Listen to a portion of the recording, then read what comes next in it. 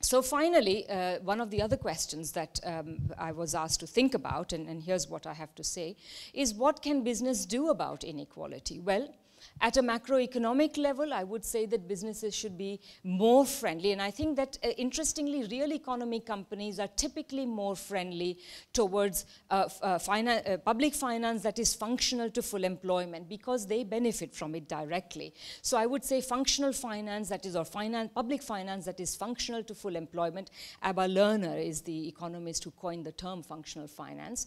Uh, I think that should definitely be something on the agenda. A mesoeconomic policy of socialized investment, uh, accepting that parts of investment at least will be undertaken by states, uh, uh, uh also engaging in more in what's called social enterprise, which is more about uh, producing and, and, and, and creating skills and, and so on, rather than simply about the bottom line uh, microeconomic policy, pursuing policies such as living wage, which um, Alan talked about uh, yesterday, Alan Freeman talked about yesterday, um, on the shop floor, fostering creativity, innovations, uh, uh skill uh, uh, acquisition, re retention, etc., upgrading, and so on. And finally, and this is the note I'd like to end on, increasingly I think that it is necessary going forward from this present crisis um, and I think that for a variety of reasons, which we can talk about in the Q&A as well, is that businesses and business people should really see themselves more in, in a broader,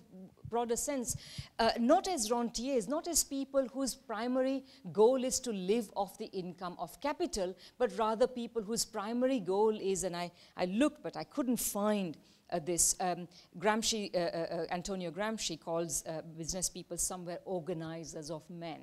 And I think to see themselves more in that way, um, Keynes also had a very, very similar Uh, uh, uh, perspective on, on what, what was, you know, what, what, what was a entrepreneur or business person good for?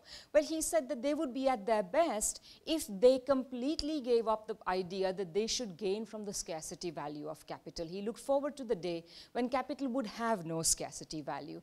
And he said, though the rentier would disappear in his scenario, that is to say, people who simply make money off the fact that they own capital, there would nevertheless still be room for enterprise and skill in the estimation of prospective yields about which opinions could differ.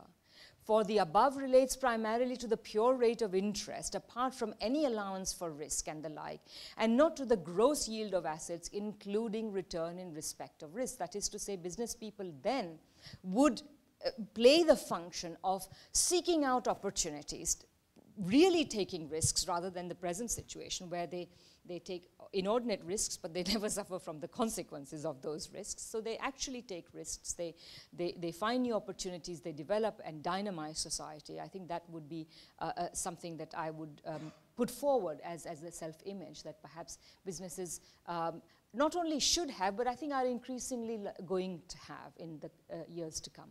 Thank you.